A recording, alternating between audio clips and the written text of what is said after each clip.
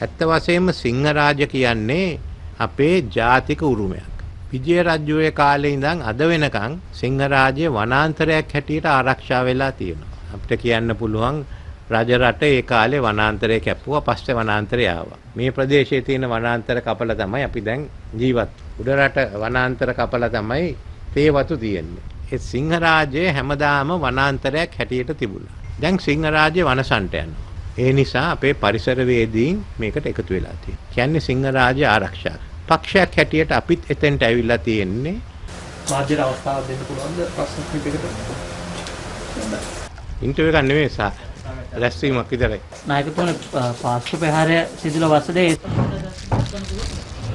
පාස්කු වෙනම කියමු මෙතන තියෙන්නේ සිංහරාජය.